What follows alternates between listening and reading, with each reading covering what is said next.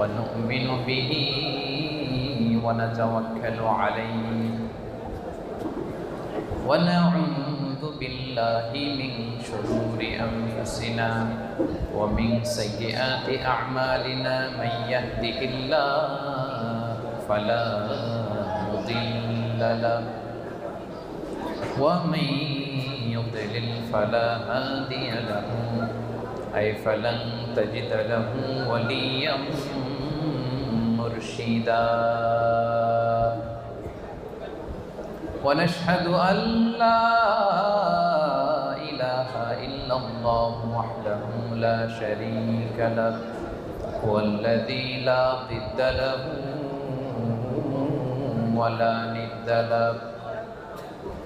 لا مثل له ولا مثيل له لا وزير له ولا كفيل له.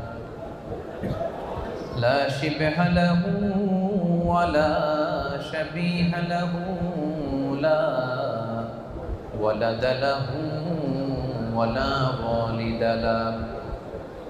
وهو الواحد الفرد الصمد لم يلد ولم يولد ولم يكن له كفوا أحد. ونشهد أن سيدنا ونبينا وحبيبنا وبشيرنا ونذيرنا وطبيبنا وطبيب أرواحنا وحبيبنا وحبيب ربنا محمدا عبد الله ورسوله أرسله بالحق بشيرا ونذيرا وداعيا إلى الله بإذنه وسراجا منيرا. أما بعد فقد قال الله تعالى في كلامه المجيد وفي فرقانه الحميد أعوذ بالله من الشيطان الرجيم. بسم الله الرحمن الرحيم. التائبون العابدون الحامدون السائحون. الراكعون الساجدون الآمرون بالمعروف والناهون عن المنكر والحافظون لحدود الله وبشر المؤمنين. إن الله وملائكته يصلون على النبي. يا أيها الذين آمنوا صلوا عليه وسلموا تسليما. اللهم صل على محمد وعلى آل محمد كما صليت على إبراهيم وعلى آل إبراهيم إنك حميد مجيد. اللهم بارك على محمد وعلى آل محمد كما باركت على إبراهيم. وعلى آل إبراهيم إنك حميد مجيد সকল প্রশংসার মালিককে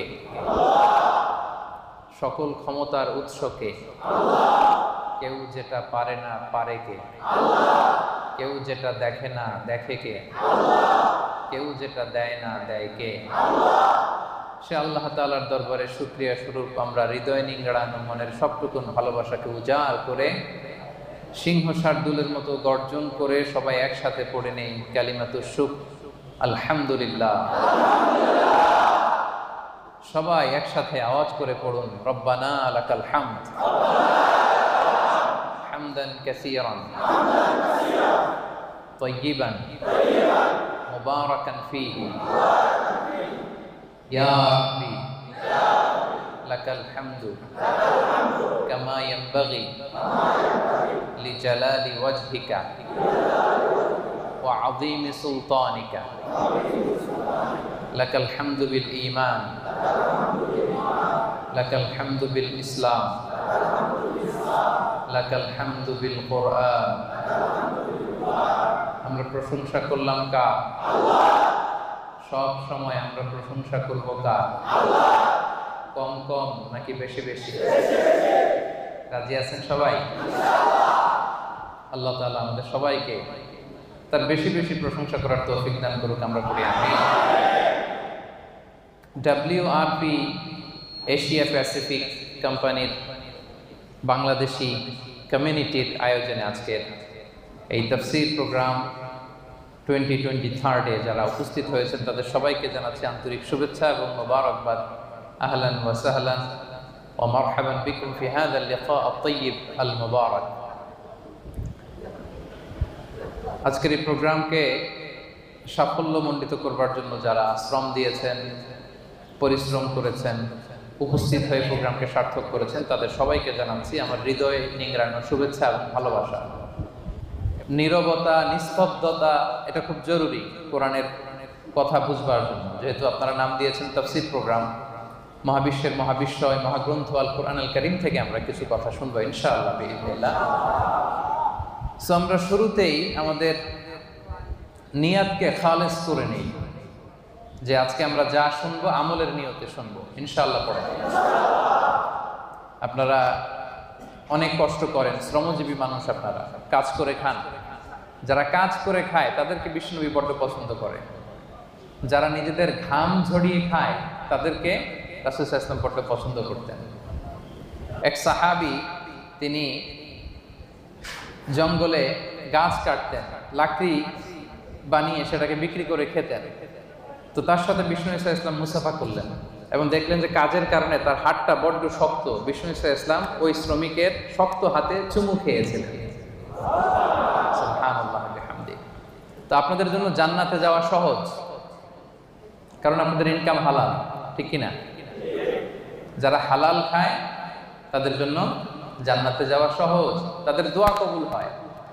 হারাম ইনকাম যদি কারও হয় এবং হারাম খেয়ে যে বর্ধিষ্ণু দেহ তৈরি হয়, এই দেহ কখনো আল্লাহর জান্নাতে প্রবেশ করবে না। আপনারা মুস্তাজাবুদ্দা আওয়া আপনারা দোয়া করলেই কবুল তো আমার কাছে দোয়া চেয়ে লাভ নেই। আজকে আমি আপনাদের কাছে দোয়া চাবো। আপনারা দোয়া করবেন।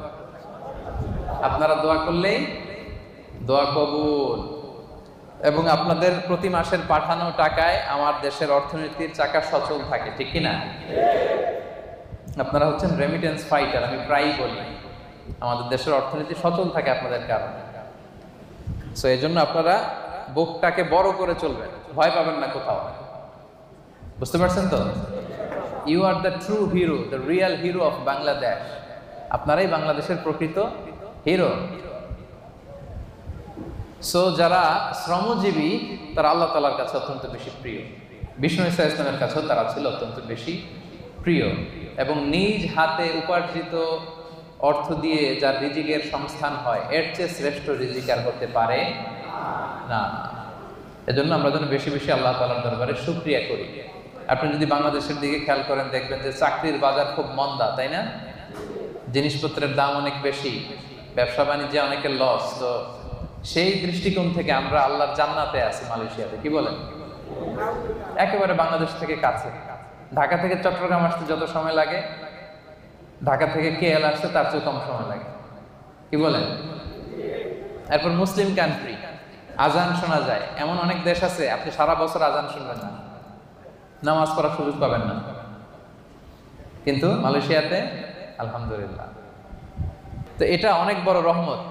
এখানে বাংলাদেশি আমার যে ভাইয়েরা ক্লিনিং এর কাজও করে, তার পক্ষ থেকে বিশ থেকে পঁচিশ হাজার টাকা প্রতি মাসে বাংলাদেশে ঢুকে। আলহামদুলিল্লাহ সো আল্লাহ আমাদেরকে ভালো রেখেছেন। যে অবস্থাতে আমরা থাকি না কেন, আমরা শুকুর করব একজনের। তিনি কে? আজকে আপনাদের ছুটির দিন। যে ছুটির দিনে অনেক ব্যস্ততা থাকে, অনেক কাজকর্ম থাকে সব কিছুকে পেছনে ফেলে আল কোরআন আল কেরিমের দুর্বার আকর্ষণে।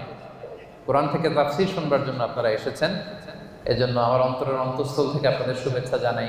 প্রিয় ভাইরা কোরআন, এটা হচ্ছে আল্লাহ তালার পক্ষ থেকে আমাদের জন্য দ্য লাস্ট মেসেজ যা বলার আল্লাহ তালা এই কোরআন আল কারিমে বলে দিয়েছেন। নতুন করে তিনি আর কিছু বলবেন? সবাই কথা বলেন। নতুন করে তিনি কিছু বলবেন? না। যা বলার সব তিনি কোরআনে বলে দিয়েছেন। আমাদের হেদায়তের জন্য এই কোরআনই যথেষ্ট এবং এই কোরআন আমাদেরকে সঠিক জীবন দর্শন শেখায়। আপনি কি করে আপনার ফ্যামিলি চালাবেন? আপনি কি করে আপনার সমাজ চালাবেন? কি করে রাষ্ট্র পরিচালনা করবেন? তার সব কিছুর ইনস্ট্রাকশন গাইডলাইন এই কোরআনে আছে না নাই? এজন্য জীবনটাকে যদি সুন্দর করতে হয়, তাহলে এই কোরআন থেকে আমাদের প্রেসক্রিপশন নিতে হবে। থেকে প্রেসক্রিপশন নেবেন? মনে থাকবে? This is the first and foremost reminder tonight to this evening to you আপনাদের প্রতি আমার এই প্রথম রিমাইন্ডার হচ্ছে, আমরা এই কোরআন থেকে প্রেসক্রিপশন নিব। ডাক্তারের কাছে গেলে ডাক্তার কি লিখে দেয়? প্রেসক্রিপশন লিখে দেয়। তো এই জীবনটাকে যদি সুন্দর করতে হয় আখিরাতকে যদি সুন্দর করতে হয়, জান্নাতের অধিকারী যদি হতে হয়, আমাদেরকে কোরআন থেকে প্রেসক্রিপশন নিতে হবে। রাজি আছেন তো সবাই? কোরআন থেকে প্রেসক্রিপশন না নিলে আপনার জীবন সুন্দর হবে না। কোরআন থেকে প্রেসক্রিপশন না নিলে আপনার পরিবার শুদ্ধ হবে না। কোরআন থেকে প্রেসক্রিপশন না নিলে আপনার সমাজ শুদ্ধ হবে না। কোরআন থেকে প্রেসক্রিপশন না নিলে এই বিশ্বটা সুন্দর হবে না। কোরআন থেকে প্রেসক্রিপশন না নিলে শুধু দুর্নীতি দমন কমিশন দিয়ে দুর্নীতি বন্ধ করা যাবে না। প্রেসক্রিপশন নিতে হবে কোরআন থেকে। এটা হচ্ছে সব সমস্যার সমাধান। The solution to all problems we are facing right now in our society আমরা আমাদের দৈনন্দিন জীবনে, আমাদের সমাজে, পরিবারে যত সমস্যা আপনি ফেস করেন, তার সমাধান কোরআনের ভেতরে দিয়ে দিয়েছে কে? এবং এটা পৃথিবীর সবচাইতে নির্ভুল কিতাব। বর্তমান পৃথিবীতে সবচাইতে নির্ভুল কিতাব। এটার চাইতে নির্ভুল গ্রন্থ আর আছে? আল্লাহ যা বলেছেন সবই নির্ভুল, সবই মহাসত্য। কিন্তু কোরআন পাঠানোর আগে যে কিতাবগুলো আল্লাহ তালা তাওরাত, জাবুর ইঞ্জিল পাঠিয়েছিলেন, ওগুলো চেঞ্জ হয়ে গেছে। এগুলো বিভিন্ন রাজা, বাদশারা, বিভিন্ন পাত্রীরা তাদের প্রয়োজনে বিভিন্ন আয়াতে, বিভিন্ন সুরার ভিতরে কি করে ফেলছে? চেঞ্জ করে ফেলছে। চেঞ্জ হয় নাই শুধু কোরআনে। আলহামদুলিল্লাহ পড়বেন না? তাহলে the most original and authentic book in the world এটা আমাদের হাতে আছে। আল্লাহ তাআলা বলছেন, দালিকাল কিতাবু লা রাইবা ফি হুদাল লিল মুত্তাকিন। This is the book the most authentic and original book in the world, whereof there is no doubt in it and a guidance to those who are muttaqin এটা এমন বই যে বইয়ে কোনো ভুল নাই, কোনো সন্দেহ নাই। এবং মুত্তাকিনদের জন্য এই বইটাকে আমি হেদায়েতের গাইডলাইন করে দিয়েছি পড়েন, সুবহানাল্লাহ। তো এই কোরআন পেয়ে আমরা খুশি না বেজার? চেপাঙ্গের ভাইয়েরা, এখানে মানে ছুটির দিনে কোরআন শিক্ষার, সন্ধ্যাকালীন কোরআন শিক্ষার আসর জমে না? নাই? এমন কোন আল্লাহর বান্দা নাই হাফেজে কোরআন যে ভাইদেরকে কোরআন শেখাবে আছে এটা? আছে না? তো এটাতে আপনারা শরিক হন সবাই? যারা পারেন না, শুদ্ধ করে নেবেন। আপনি মালয় ভাষা পারেন, আপনি ইংরেজি পারেন, আপনি আরবি পারেন, কিন্তু কোরআন পারেন না। এটা আল্লাহ মেনে নিবে? কথা বলেন, মেনে নিবে? খেয়াল রাখবেন no excuse will be granted that day সেদিন আল্লাহ কোনো এক্সকিউজ দেবে না। অনেক হিন্দু কোরআন পারে। এই যে গিরিশচন্দ্র সেন, তিনি কিন্তু কোরআনের অনুবাদ করেছিলেন। হ্যাঁ কেউ কেউ বলে প্রথমে, কেউ কেউ বলে দ্বিতীয়, যা হোক, তিনি কোরআনের অনুবাদ কিন্তু করেছিলেন। তো আল্লাহ সেদিন বলবে, হিন্দু হয়ে সে কোরআন পারে, তুই বললেন না কথা বলেন। এক্সকিউজ আছে? মালয় ভাষা ছয় মাসে শিখে ফেললেন। হ্যাঁ? সাতু দুয়া, তিগে, আম ফাতিমা তো ভালোই বলতে পারেন তো মালয় ভাষা শিখতে পারো তুমি কোরআন পারো না কেন? কোনো এক্সকিউজ আল্লাহ সেদিন গ্রহণ করবে? কথা বলেন। No excuse will be granted that day প্রিয় ভাইরা সেদিনটা বড্ড ভয়ঙ্কর। সেদিন বন্ধু বন্ধুকে চিনবে না। মা ছেলেকে চিনবে না, স্বামী স্ত্রীকে চিনবে না, পীর সাহেব মরিদকে চিনবে না, দলের নেতা কর্মীকে চিনবে না, ঠিক কিনা? দিনটা বড্ড ভয়ঙ্কর। আপনার প্রশ্নের জবাব আপনাকেই করতে হবে। তো সেদিন কোনো এক্সকিউজ আল্লাহ শুনবে না। আল্লাহ বলবে, সব পারো, এটা পারো না কেন? তো এই জন্য আমরা নিয়ত করে ফেলি যে আমরা সহি শুদ্ধভাবে এই কোরআনটাকে শিখব। ইনশাল্লাহ সবাই বলে নেই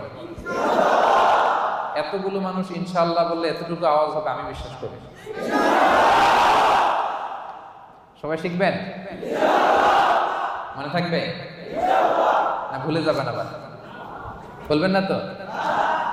আল্লাহ তালা তুমি আমাদেরকে তৌফিক দান করে পড়েন আমি এই মহাগ্রন্থের মহাবিশ্বয় আল কোরআন আল করিমের একটা সুরার একটা আয়াত তেলাওয়াত করেছে, সুরাতুত তাওবা।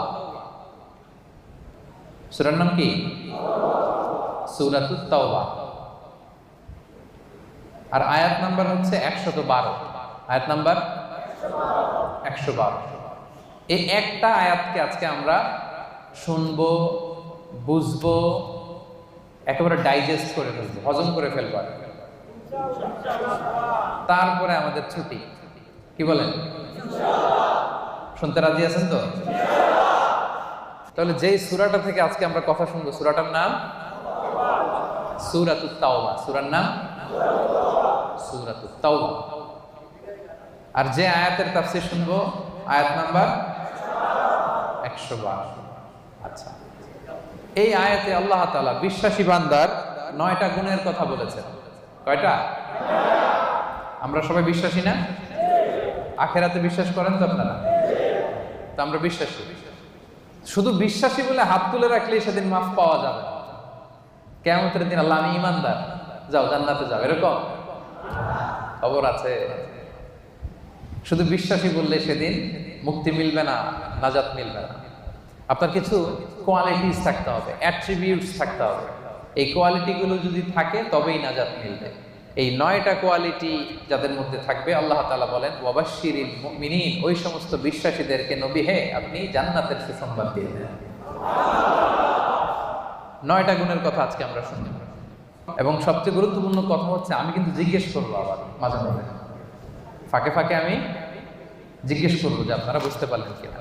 তাহলে কয়টা গুণের কথা আল্লাহ তালা বলেছেন? নয়টা। তো একশো বারো নম্বর আয়াতের আগের আয়াতে আল্লাহ তালা আমাদের সাথে একটা এগ্রিমেন্ট করেছেন, একটা কন্ট্রাক্ট করেছেন, চুক্তি। আল্লাহ তালা বলেছেন যে, তোমরা তোমাদের জীবন, তোমাদের সম্পদ আমারে দিয়ে দিবা, আমি আল্লাহ তোমাদের জান্নাত দিয়ে দিবা আল্লাহ তাআলা আমাদের কাছ থেকে আমাদের জীবন, আমাদের সম্পদ কিনে নিয়েছেন। বিনিময়ে তিনি আমাদেরকে জান্নাত দিবেন। আল্লাহ এখন যদি বুঝে থাকেন তাহলে উত্তর দেন। এই যে আল্লাহ আমাদের জীবন কিনতে চায়, আমাদের জীবনের মালিক কে?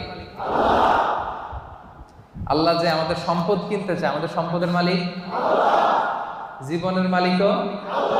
সম্পদের মালিকও? আবার এই দুইটা কিনতে চায়ও? সুবহানাল্লাহ বলবেন না? দেখেন, উনার দেওয়া জিনিস উনি কিনে নিয়ে আমাদেরকে পুরস্কার দিতে চায়।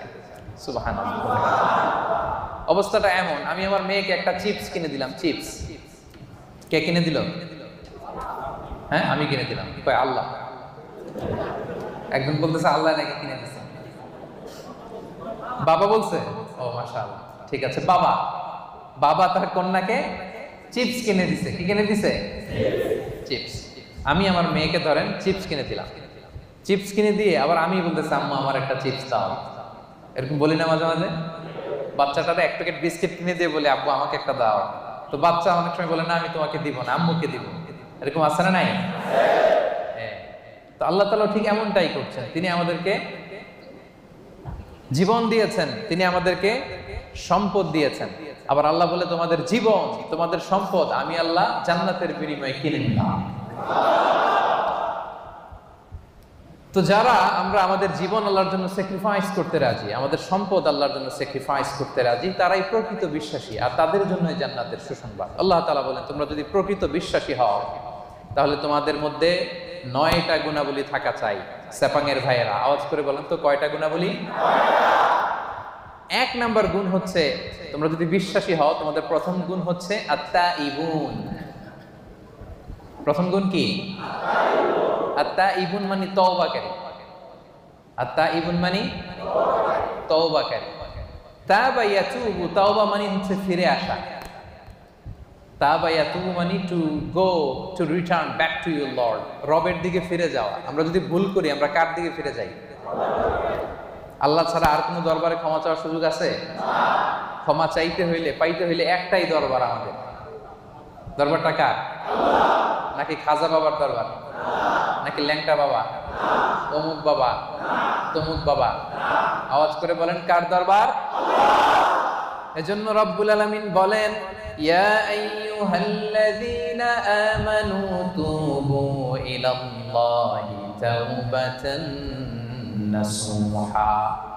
ওহে বিশ্বাসীরা, ভুল করেছ। অন্যায় করেছ, অপরাধ করেছ, নিরাশ হবা হতাশ হবা না। আল্লাহর কাছে তওবা করো, খালিস তওবা। সুবহানাল্লাহ পড়ো। তুবু ইলাল্লাহি তাওবাতান নাসুহা। খাঁটি তওবা করো, একনিষ্ঠ মনে তওবা করো, তওবার মতন তওবা করলে সব গুনাহ মাফ করে দেয় কে? আল্লাহ তাআলা শিখিয়ে দিচ্ছেন, ভুল করেছ, অন্যায় করেছ, তওবা করো। ফিরে আসো আমার দিকে। আমি আল্লাহর দরবার তোমার জন্য খোলা। It's open for you twenty four seven সপ্তাহের সাত দিন, দিনের চব্বিশ ঘণ্টা, মাসের তিরিশ দিন খোলা। আল্লাহ বলে ডাক দিলেই তিনি ডাকে সাড়া দেন সুবহান আবার হাদিসে কুদসিতে আল্লাহ বলেন, ফাইন যাকারানি ফি নাফসি, যাকারতুহু ফি নাফসি। বান্দা যদি একা একা আমারে ডাকে, আমিও তারে একা একা ডাকি। আল্লাহু আকবার। ওয়াইন যাকারানি ফি মালাইন যাকারতুহু ফি মালাইন খায়রিন মিনহু বান্দা যদি বিশাল সমাবেশ করে আমি আল্লাহরে ডাকে, আমি আল্লাহ ফেরেশ তাদেরকে নিয়ে আরও বড় সমাবেশ করে বান্দারে ডাকি। ওয়াইন তাকাররাবা ইলাইয়া বিশিবরিন তাকাররাবতু ইলাইহি জিরাআন আমার বান্দা যদি আমার দিকে এক বিঘত এগিয়ে আসে, আমি আমার বান্দার দিকে এক হাত এগিয়ে যাই।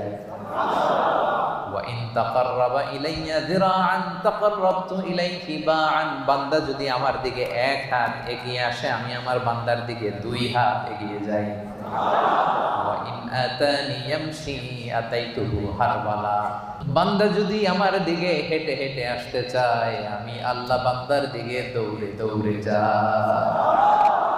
আপনি হেঁটে হেঁটে আসতে চান, আল্লাহ আপনার দিকে দৌড়ে দৌড়ে যাবেন আল্লাহ আকবার টোয়েন্টি ফোর সেভেন তার দরজা খোলা খোলা তার দরজা চোখের পানি ছেড়ে আপনি ক্ষমা চান চাইতে দেরি তিনি ক্ষমা করতে দেরি করে তিনি আমাদের সাহস যুগিয়ে আশ্বাস দিয়ে বলছেন কুলিয়া عبادي الذين أسرفوا على أنفسهم لا تقنطوا من رحمة الله إن الله يغفر الذنوب جميعا إنه هو الغفور الرحيم আল্লাহ বললেন নবী আমার বান্দাদেরকে বলো ও আমার গোলাম আল্লাযীনা আসরাফু আলা আনফুসিহিম যারা নিজেদের উপর জুলুম করেছো নফসের উপর যারা জুলুম করেছো পাপ করেছো অন্যায় করেছো